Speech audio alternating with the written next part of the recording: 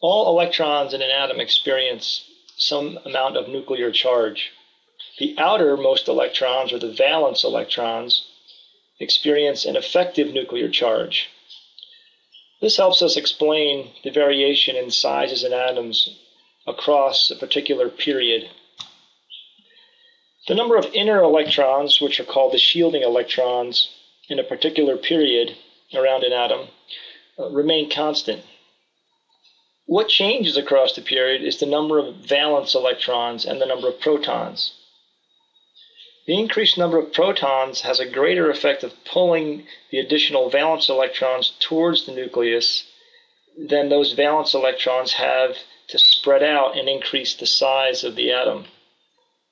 The effective nuclear charge can be represented as an equation where the effective nuclear charge is the difference between the number of protons and the number of shielding electrons.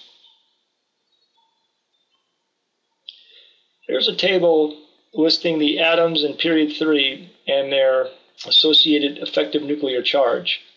As you can see, the calculated effective nuclear charge increases across the period.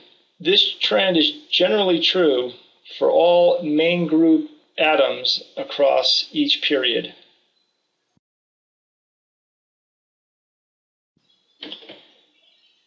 This figure shows the atomic radii for all main group elements.